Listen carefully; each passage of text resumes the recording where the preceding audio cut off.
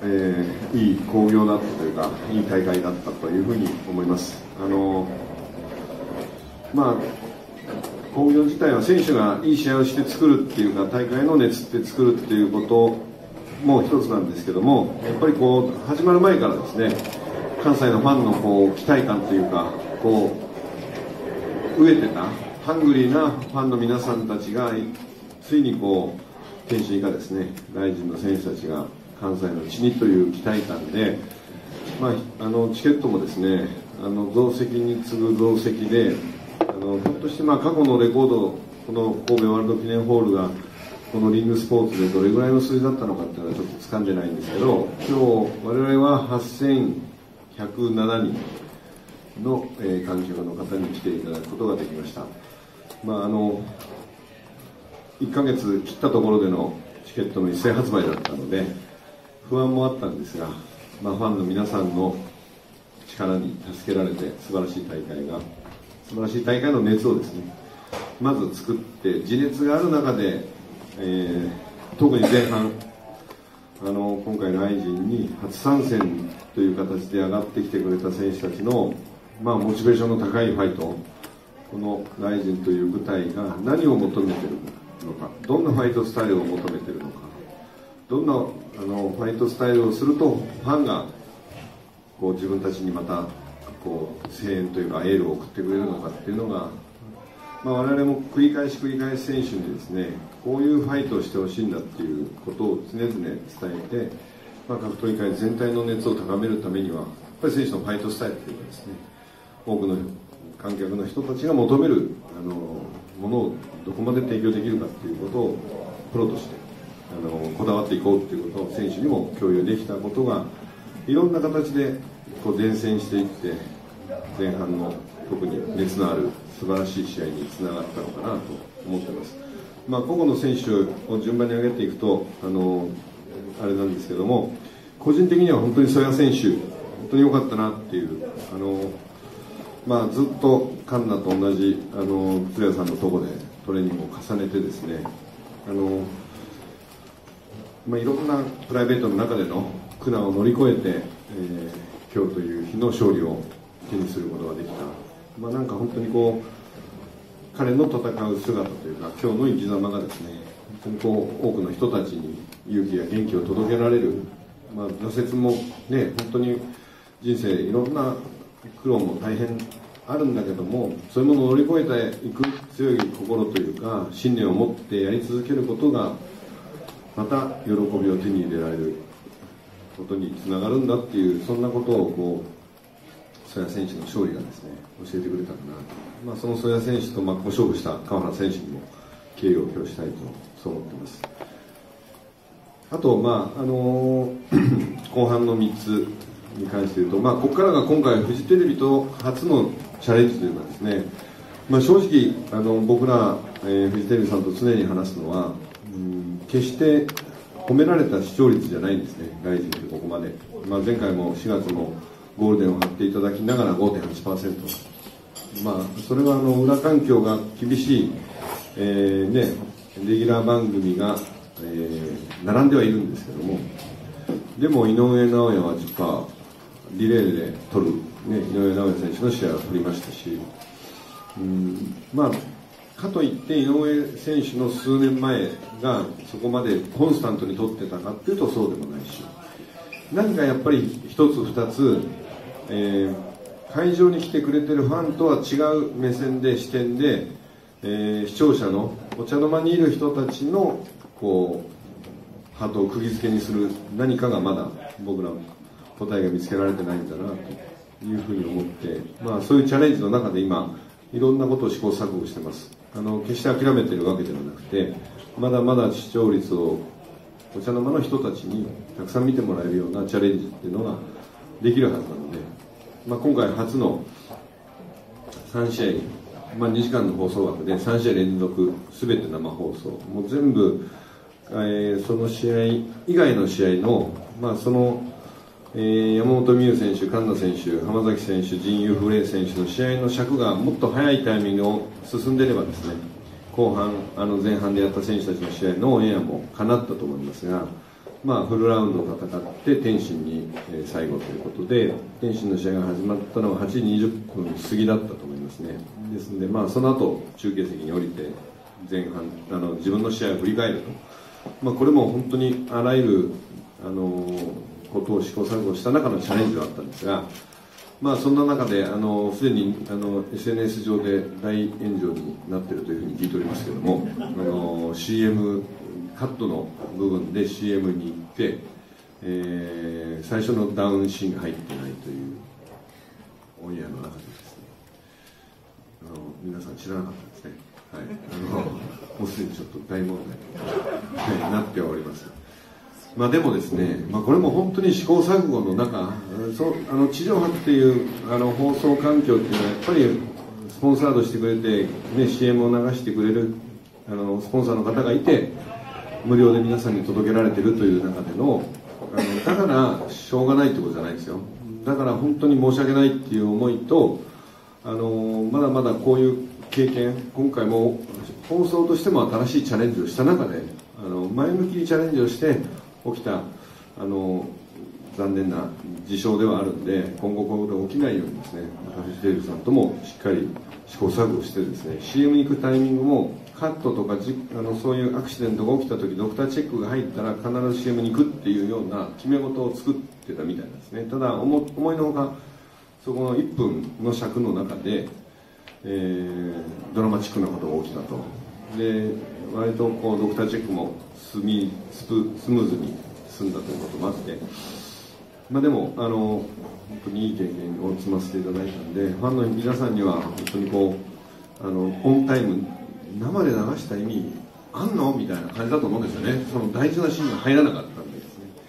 本当にそれは申し訳ないですがあの今後こういうことがないようにまたしっかりあの整えていきたいと思いますので勘弁いただきたいなと思ってます。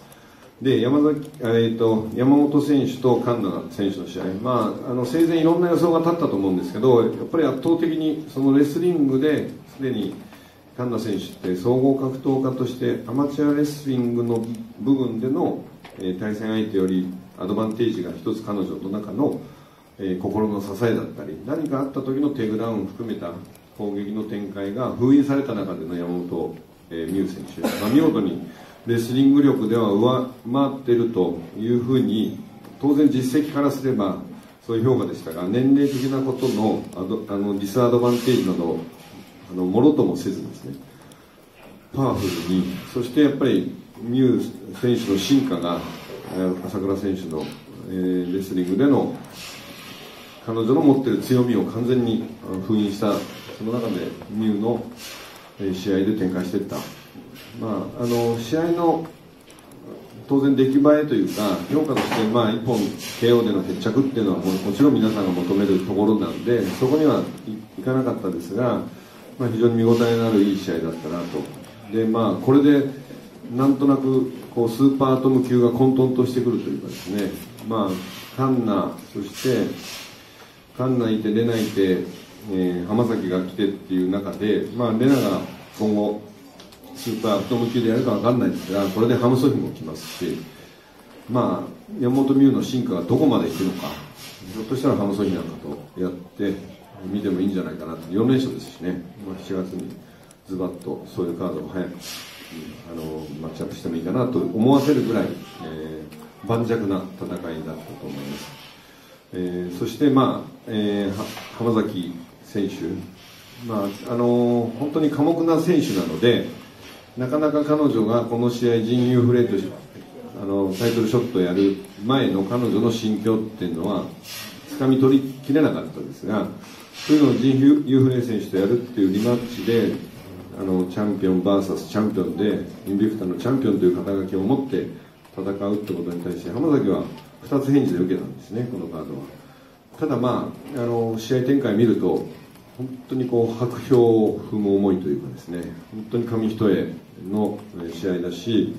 まあ決して余裕を持って陣優フレーを受けたわけではなくてあの僕も少し浜崎選手の試合は気持ちよく受けたが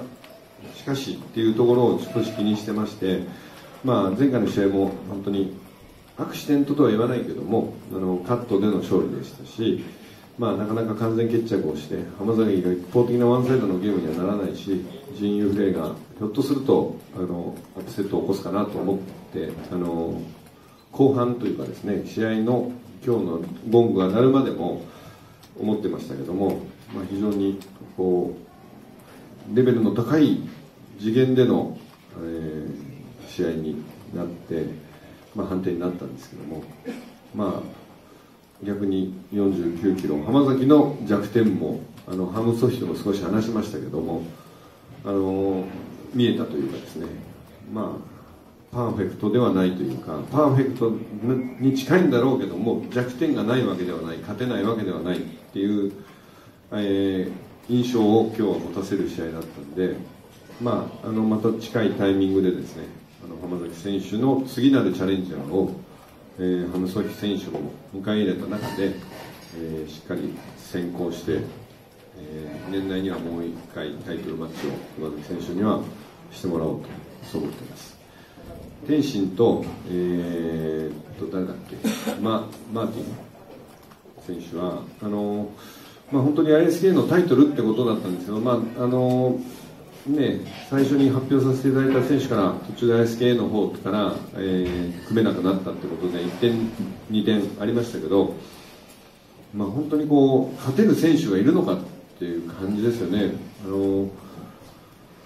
一つ階級を上げてきたって言っても現役のチャンピオンですし ISK の,、まあ、あの僕らが映像でチェックしたりいろんな中でも、まあ、ワンサイドの試合になるのかどうなのかなっていう、まあ、あの天心が負けるっていう想像までは僕らもプロモーターとしてもねなかなか想像ができるということはないんですけどもそれでも、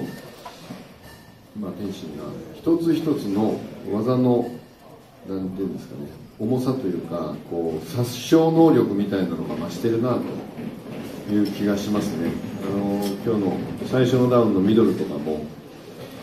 まあ、あの階級であのミドルでやっぱりね一発でこうダウンを取れる。っていう、まあ、この先那須川天心にどういうテーマを与えて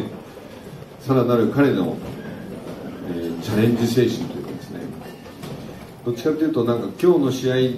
はあの燃えてないっていうかね。もっとこうエキサイティングなっていうかそういうものを求めてるっていうのを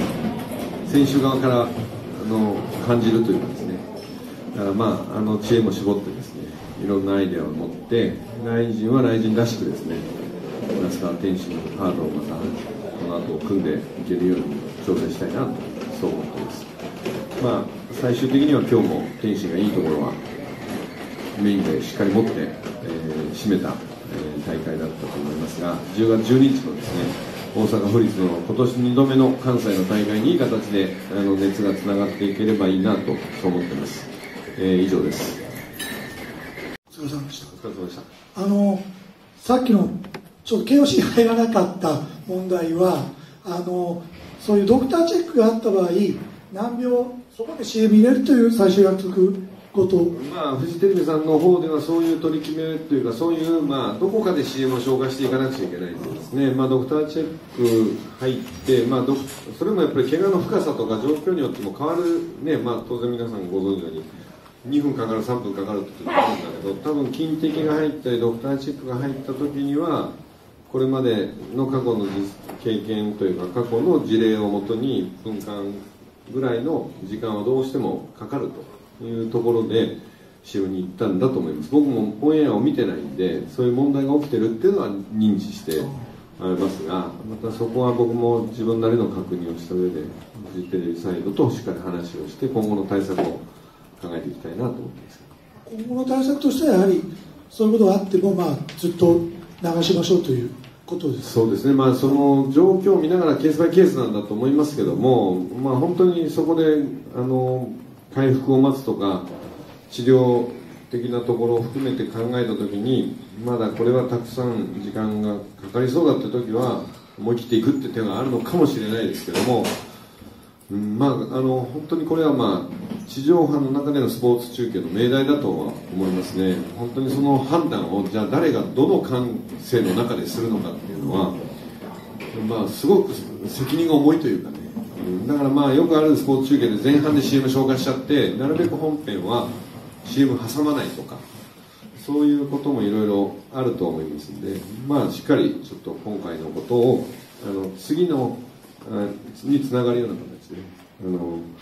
検証してあのまたこうしていきたいということはまたどこかであの発表できる機会があればあのお伝えしたいなと思います。あともう一つ先ほどまあ最後までおっしゃった、まあ、視聴率が跳ねるとか、まあ、このイベントがよりブレイクするきっかけはやっぱり那須川天心だと思うんですがその次なるカードっていうのが、まあ、今もちょっとおっしゃってましたが、まあ、イメージするものってこうありますか？天心ねはい。あのー、まあこれまでもいろんな形の他ジャンルの選手と軽い試合でやるとかね、まあ、昨年メイウェザーでやりましたけども。まああのどこかで天心が階級を上げることもそうですけどもあの何か彼彼が今の階級の中で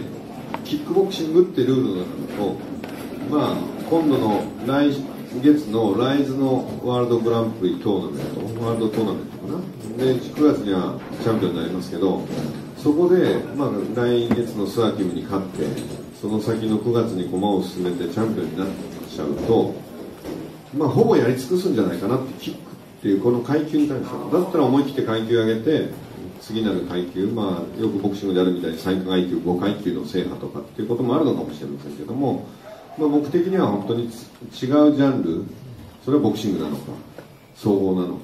やっぱりもうここまでキックボクサーとして完成したものを武器に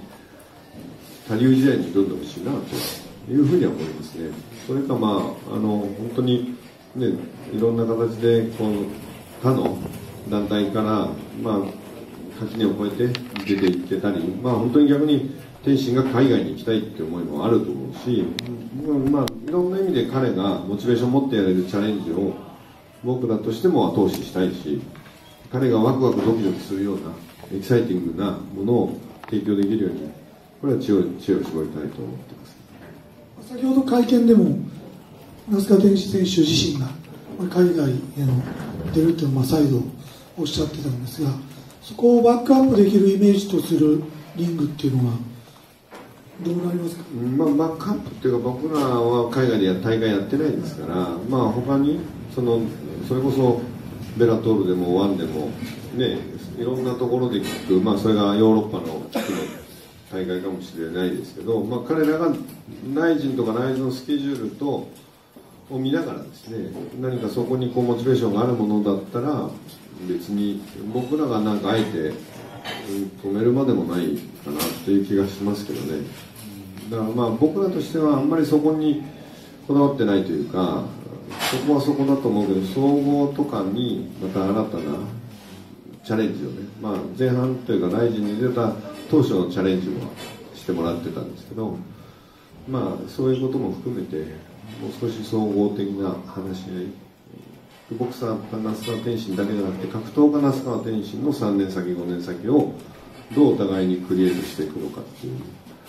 あのそういうことを考えたいし、まあ、僕らあの当然そのベラトルとかでベラトルキックっていうのもベラトルもやってますからね、まあ、そういう意味ではやっぱり僕らの感覚の中だと格闘技の本場はアメリカだと思うんです。これはもうボクシングに始まり MMA もそうですしやっぱりただキックっていうのはアメリカでは圧倒的に人気がなそこまでないですので、ね、だから本当にそのアメリカというまあスポーツの世界最大のマーケットでやっぱり名を馳せていくことが多分那須川天心にとっては一番彼が求めることのはずなんですよ、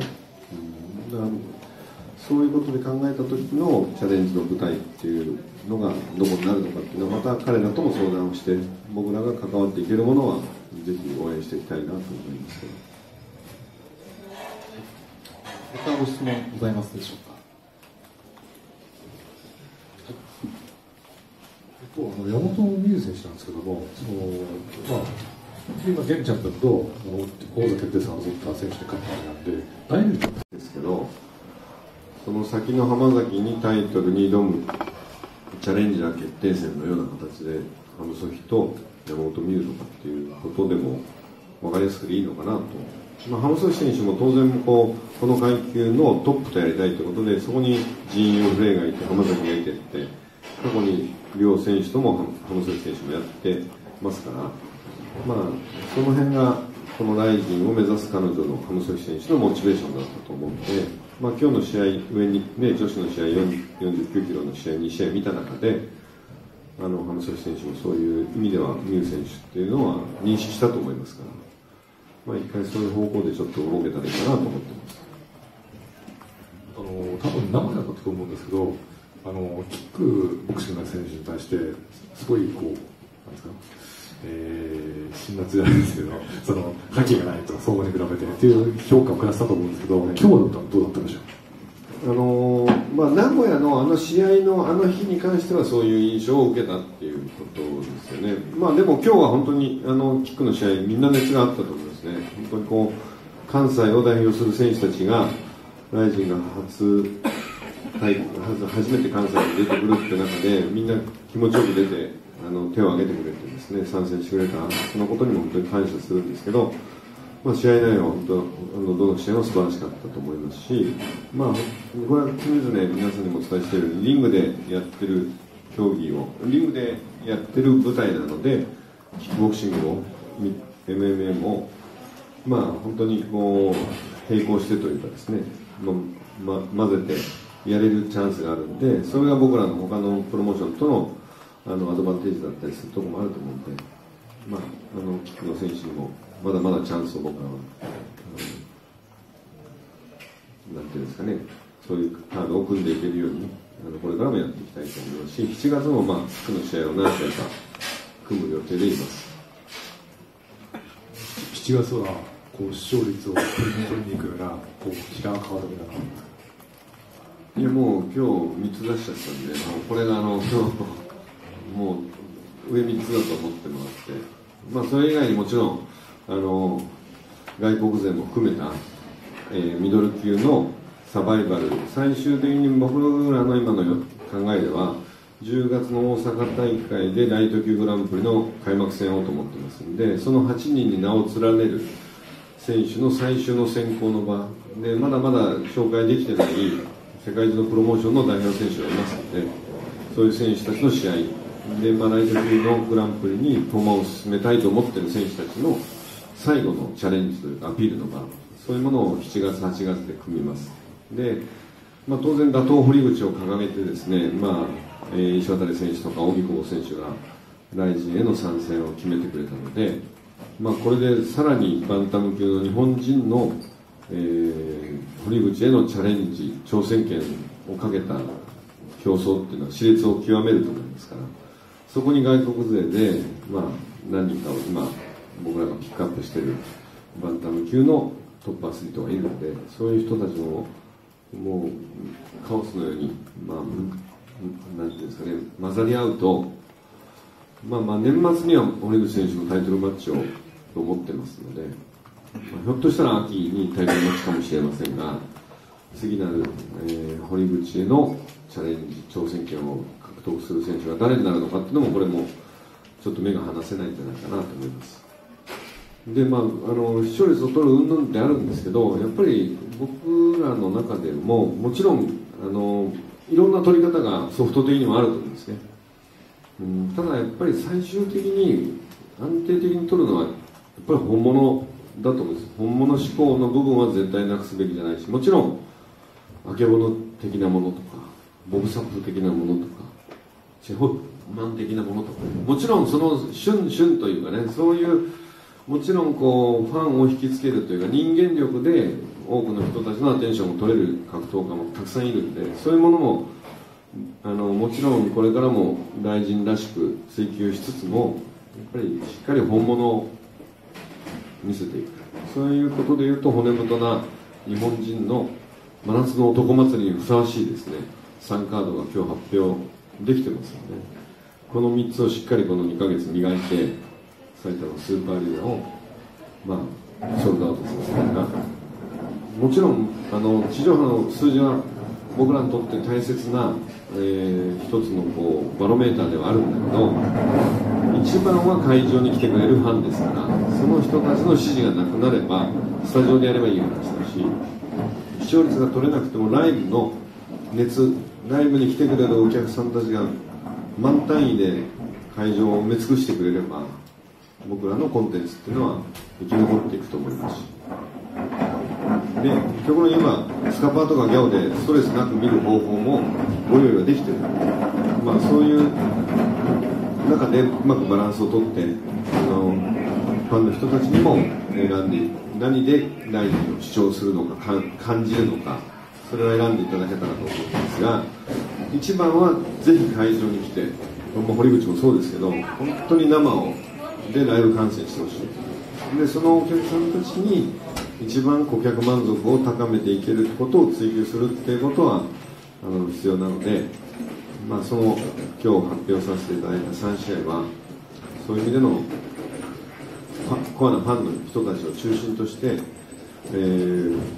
あの期待してもらって、えーいいカードじゃないかなというふうに思う次第ですけど。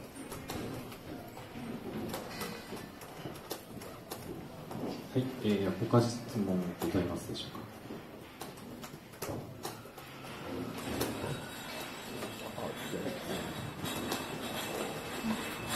あの一つあの確認なんですけど、はいこの那須川選手のタイトルなんですけど、この ISK はカテゴリーが5つある団体です。タイトルにそのカテゴリーが書いてないとえいうっとですね、ISK、これ多分ご案内した、あの、中に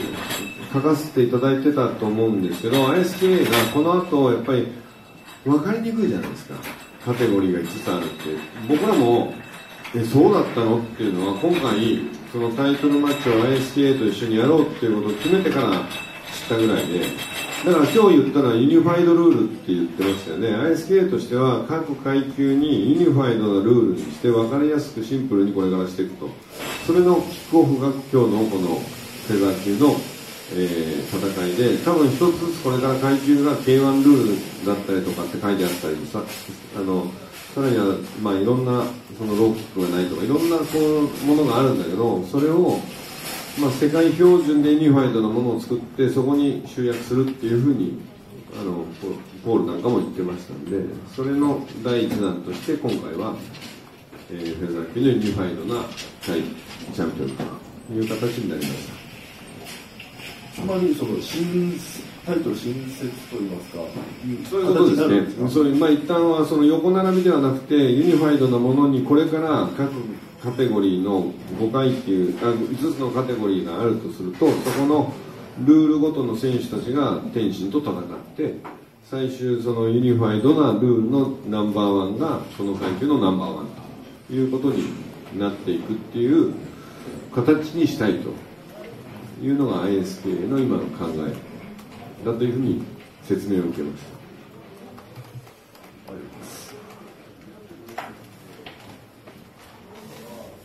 えー他質問ございますでしょうか？よろしいですか？では本日